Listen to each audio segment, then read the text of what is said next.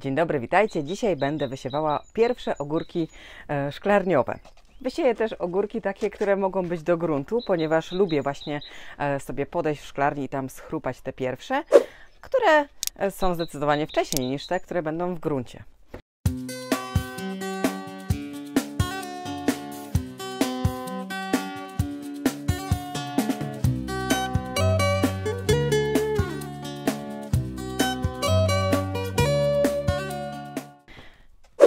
Do wysiewania e, ogórków najlepiej użyć większych doniczek. Bo słuchajcie, no teraz zapowiadają piękne, słoneczne i ciepłe dni z ciepłymi nocami, ale nigdy nie wiadomo. Moje pomidory i papryki, które mam z przeznaczeniem do szklarni, postaram się już właśnie w drugiej połowie kwietnia, dzisiaj nagrywam, jest 14, e, posadzić już do gruntu i wtedy już będę musiała podgrzewać. Ale jeżeli Wy znaczy podgrzewać. Będę musiała kontrolować tą temperaturę, czy, e, żeby nie spadała poniżej 10 stopni. Jeżeli Wy nie jesteście nastawieni na ogrzewanie swoich szklarni, to odczekajcie z wysiewem ogórków szklarniowych do pierwszych dni maja. Też urosną, będą może tam tydzień, dwa później niż te moje, ale też e, nie będziecie mieli tyle problemu z podgrzewaniem. Ogórki szklarniowe świetnie rosną w szklarniach. Takie pierwsze wysiane owocują szybciej, no i też nie są tak narażone na mączniaka, jak te, które będziecie wysiewać później. Ja ogórki szklarniowe najczęściej wysiewam dwa razy. Pierwszy raz w połowie kwietnia, drugi raz no gdzieś tak pod koniec e, nawet czerwca, żeby były już na jesień. Akurat te pierwsze zaczynają, kończą już swoje owocowanie, a później te następne wkraczają i owocują dalej. Jakie odmiany będę wysiewała? Bardzo lubię ogórki szklarniowe Iwa. E, lubię też, o tutaj mogłam sobie przesortować, będę też wysiewała melona. E, jeżeli nie uprawialiście melonów, a lubicie melony, to bardzo Wam polecam, ponieważ melony są naprawdę bardzo dobre. E, będę wysiewała też później, e, gdzieś tam w pierwszych dniach maja do szklarni już cukinie, ale jeszcze nie teraz. Będę wysiewała też te ogórki White Wonder, one też są bardzo smaczne, takie chrupiące bardzo. Będę wysiewała też ogórka melonowego i tego e, Chinese Slagen, czyli e, wąż chiński. Bardzo dobre, fajne, długie i takie no też bardzo dobre do sałatek, do przetworów. I do mizerii też się nadają, chociaż do mizerii najbardziej lubię te ogórki Iwa. Ogórki generalnie nie za bardzo lubią być przenoszone do innego stanowiska, szczególnie nie lubią być pikowane, więc e, wysiewanie takie żółtowe odpada. Wybieramy sobie większe doniczki z racji tego, że w takich doniczkach łatwiej jest upilnować wilgotność i nawożenie. Takie malutkie paletki do wysiewu sałaty czy do innych rzeczy się nie nadają do wysiewania ogórków, ponieważ ogórki w nich się będą źle rozwijały. Dodatkową zaletą, jeżeli weźmiecie sobie, wybierzecie takie większe doniczki, mogą to być też na przykład e, te plastikowe kufle e, po piwie, czy tam jakieś inne e, pojemniki, czy na przykład po dużych jogurtach, takie półlitrowe, świetnie się też nadadzą. Zaletą tego, że wysiewam ogórki do takich większych pojemników, jak tutaj P9, jest to, że po pierwsze dłużej utrzymujemy wilgoć, nie trzeba codziennie ich tak podlewać, dłużej mają tutaj składniki odżywcze z tej ziemi, które są już na start dane. No i też bardzo ważne, jeżeli macie posadzone ogórki w takich większych pojemnikach, to macie też większy bufor czasu na to, żeby te ogórki wsadzić do ziemi. Jeżeli zdarzy się, że na przykład w drugiej e, w pierwszej połowie maja będą e, wielkie mrozy, to nie będę na siłę ogrzewać szklarni, tylko te rozsady zaniosę sobie do altanki, czy zabiorę ze sobą do mieszkania na jakieś 3-4 dni i potem przywiozę je tutaj. Jeżeli bym wsadziła do takich malutkich pojemniczków, może się okazać, że one będą miały tej ziemi tam za mało, że będzie im za ciasno i że będę musiała na siłę je wsadzić po prostu w miejsca docelowe. Bo też nie po to wysiewamy sobie wcześniej, żeby hamować wzrost tych roślin zbyt małym pojemnikiem. Do takiej doniczki P9 wkładam po dwa nasionka na głębokość około 1 cm i zasypuję drugie tak samo. I tak właściwie do końca. Jeżeli trafi Wam się takie bardzo płaskie nasionko, to wysiejcie sobie inne, ponieważ te płaskie zazwyczaj nie wschodzą.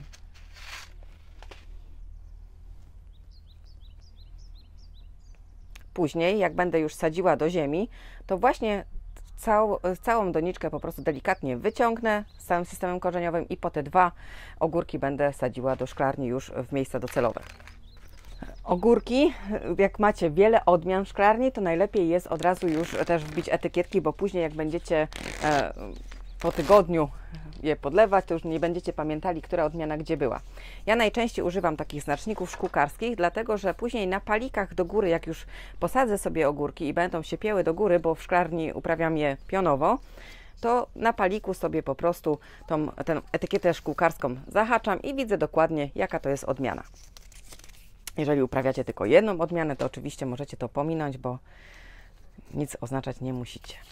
Ja sobie to tutaj wcisnę. Aby odnieść sukces w uprawie ogórków e, szklarniowych, musimy pamiętać o tym, że temperatura w szklarni, jak one zaczynają kwitnąć, nie może spadać poniżej 10 stopni. Niby gdzieś tam jest napisane też, że do 8, ale powiem Wam, że jak e, jest poniżej 10, to ogórki jakby hamują wzrost, a już w ogóle nie zawiązują pierwszych kwiatków. E, w późniejszym czasie będę też Wam pokazywała, jak prowadzę ogórki szklarniowe, jak je przycinam, tak żeby właśnie e, miały jak najwięcej takich fajnych, długich ogórków. No i też nie wiem, czy pamiętacie, w zeszłym roku na ogórkach w szklarni, tych pierwszych, które tam sobie wysiewałam, miałam przędziorka. Początkowo, ponieważ nie znałam przędziorka tak e, w, praktyce, nie wiedziałam, że to przędziorek i omyłkowo rozpoznałam to jako mączniaka nie przypominało to do końca mączniaka, ale nie wiedziałam, jak sobie z tym poradzić. E, zostawiłam to na kilka dni i okazało się, że ten przędziorek tak szybko się rozmnożył, że nie było co tam już ratować. Więc szybciutko usunęłam całe krzaki, spaliłam i wysiałam sobie następne, ale ten przędziorek wrócił.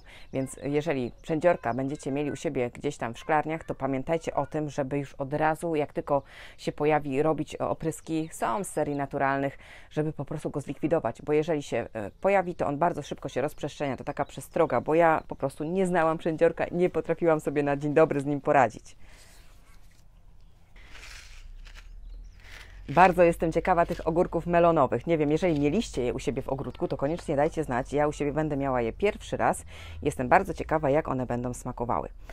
Jeżeli jeszcze nie macie przygotowanej szklarni, albo u Was jest zimniej niż u mnie, e, albo wolicie po prostu przełożyć ten termin na późniejszy z wysiewaniem, żeby nie przejmować się jeszcze tymi mrozami, które mogą się zdarzać w nocy, to od początku maja możecie już ogórki powysiewać prosto do gruntu, prosto do ziemi. E, jeżeli chcecie ogórki uprawiać tylko na zewnątrz, to odczekajcie gdzieś tak do 20 maja, aż ziemia się porządnie nagrzeje, aż e, wszystko ładnie e, będzie już przygotowane do tego, żeby te ciepłolubne można było wprowadzać do swoich ogródków.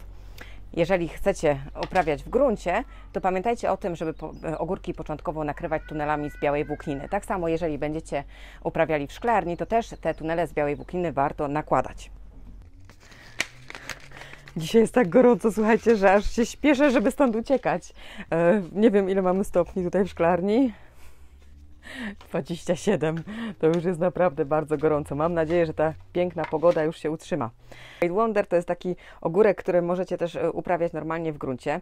On się świetnie udaje, ale bardzo ważne przy jego uprawie jest to, żeby on nie przesychał. Jeżeli będziecie go skąpo podlewać albo będziecie go e, sadzili gdzieś tam w takich miejscach, gdzie ziemia bardzo szybko przesycha, to on będzie gorzki, nie będzie smaczny. Także jeżeli macie takie suche tereny, to sobie go odpuśćcie. A jeżeli będziecie mogli biegać z konewką częściej koło niego, to Wam polecam, bo jest naprawdę bardzo, bardzo smaczny. Teraz wszystko musimy podlać. Jak wiecie, ja stosuję kwasy humusowe i bakterie. Kwasy humusowe zadbają o to, żeby system korzeniowy był większy, a bakterie o to, żeby e, mączniak może nie przyszedł do moich ogórków. Generalnie jestem e, zdania, że lepiej zapobiegać niż leczyć. To są środki serii naturalnej, więc e, bez obawy stosuję je w swoich ogrodach. Co jest też bardzo ważne przy podlewaniu. Ogórki nigdy nie podlewamy zimną wodą ze studni. Zawsze. Jak widzicie, ja tutaj mam beczkę, jest czarna, więc świetnie się grzeje teraz w takie słoneczne dni i woda jest naprawdę przyjemna, nie jest taka zmarznięta. Jak będziecie podlewali swoje rozsady w szklarni, to pamiętajcie o tym, że temperatura w szklarni potrafi dochodzić tutaj w środku nawet do 35 stopni w kwietniu, a co dopiero później latem. I jeśli będziecie podlewać rośliny, takie młode rozsady, taką lodowatą wodą, to im na dobre nie wyjdzie. Ponieważ ta ziemia była w ogórkach trochę przesuszona, to ja wleję tą wodę na dno e, tego pojemnika i one sobie ładnie pobiorą wszystko do góry.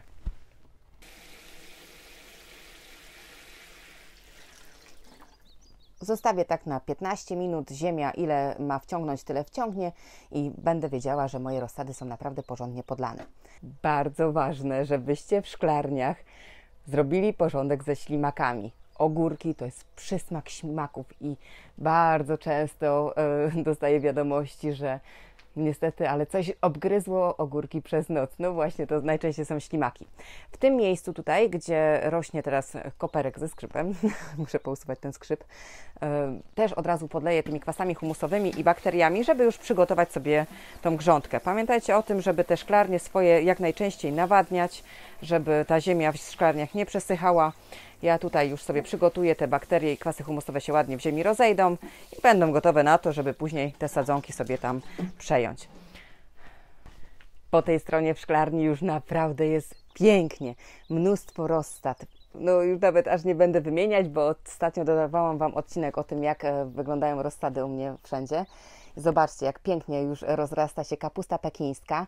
Liczę na to, że ona e, jeszcze no, gdzieś tak pod koniec maja już będzie gotowa do zjedzenia, także e, trzymajcie kciuki. Tutaj pięknie rozrasta się sałata, no i można już powoli wyciągać pierwsze rzutkiewki. Tu o, taka jedna ładna. Zobaczcie, jaka ładna różowiutka.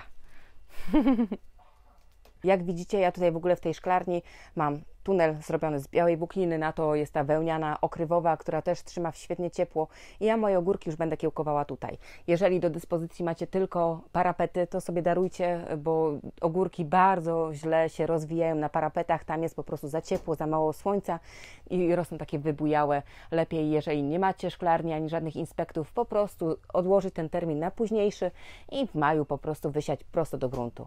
A ja tutaj, jak widzicie, no, mam tą włókninę, mam tą włókninę okrywową i wszystko pięknie rośnie. Pomidory testowo wysiane tutaj w szklarni, ładnie rosną, nie są fioletowe, więc no, nawet te minusowe temperatury na zewnątrz im nie przeszkadzają. To co? To życzę Wam udanego sezonu. Później jak prowadzić ogórki, wszystko będziecie mieli na kanale. Do zobaczenia.